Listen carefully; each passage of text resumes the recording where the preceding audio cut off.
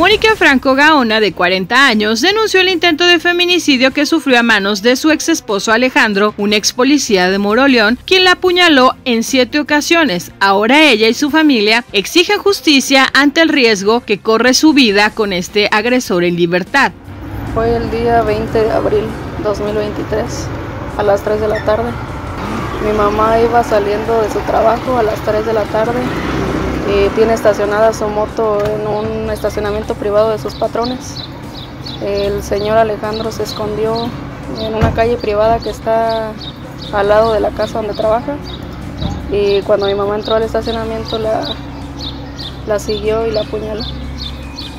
En plena luz del día. Sí, pero como es estacionamiento privado, pues nada más estaba su patrón y ella.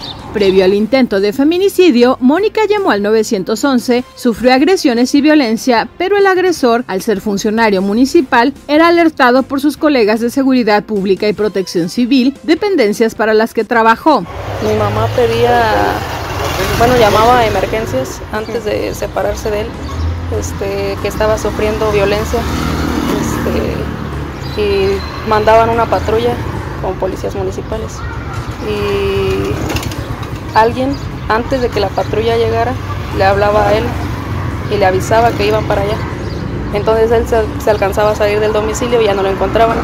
Y hubo una ocasión que mi mamá otra vez, porque le pegó, este, llamó a, a, em, pues, a emergencias, a la policía. Y mi mamá les tuvo que exigir que se los llevaran porque ellos querían platicar nada más con él. Después de la agresión a Mónica, Alejandro dejó de asistir a su trabajo en protección civil y sigue prófugo. Ahora la familia pide a las autoridades justicia y que puedan detener a Alejandro ya que viven con miedo ante el riesgo de que regrese para matarla.